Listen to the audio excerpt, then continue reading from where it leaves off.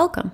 In this video, we're going to go over the project structure for a basic local Android test written in Java using the TestNG framework.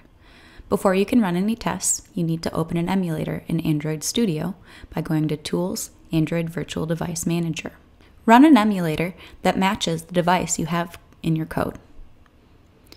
Once your emulator is up and running, you'll also want to start your Appium server. Open Appium Desktop and click to start the server. Next, let's take a look at the project structure. I'm going to be doing this in IntelliJ IDEA. Inside the source, test, Java, test file, you should see a basic test.java, as well as a config file, which we'll edit later. Inside resources config, you'll see the XML file that specifies which test to run.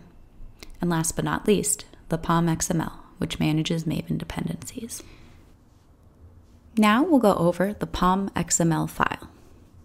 This file is used with Maven in order to give all the important information about a project, as well as the configuration for other plugins and tools that you're using with your Java project. If you scroll down, you can see the dependencies listed include the TestNG testing library, Selenium, tools to log the output and errors in your project, as well as the dependency for the REST API and Appium. Notice that in the version tag for each of these dependencies, we have a variable. The way that this POM XML is set up is that the version numbers for each of these dependencies is set at the top for easy maintenance and changing. At the bottom of the POM XML file, you'll find the plugins that help you with the build. The Maven Surefire plugin manages test execution and generates log files. In this example, we're going to use the testng XML file to specify which classes, packages, or other types of tests you want to run. The testng XML file helps you organize and control the execution of your tests. You can specify which, which test suites to run, which classes, and other things. Later on, we'll be using it to run tests in parallel. Currently, all it tells us is to run the basic test class. We'll be modifying it later to add more features. Next, we'll take a look at the single test object that we have so far in this testing suite. In the imports list, you'll see many of the plugins and libraries that were specified in POM XML. You'll also see elements of the TestNG library, including the assert methods and the after, before, and test annotations. These annotations allow TestNG to execute tests in a certain order and access the correct methods at the correct time. At the top of the test class, you'll notice two variables created. The first one, the app variable, gives the absolute path for the APK file where it is stored on your local machine.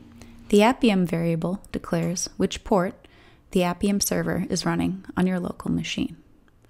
If you go look at the Appium server you have running on your machine, you can see the port that is assigned to it. Next, we're going to take a look at the capabilities for this local Appium test. Capabilities send information in a data object about how and where a test should be run. In this example, we have the device name, platform name, platform version, automation name, as well as the name of the app or location of it as required capabilities.